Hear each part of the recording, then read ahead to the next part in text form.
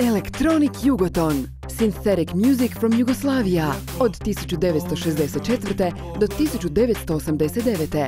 Dvostruka je kompilacija začetnika elektronske glazbe u svim glazbenim žanrovima, uključujući sedam nikad objavljenih pjesama te isječke promotivnih radijskih ploča iz Jugoton Express serije.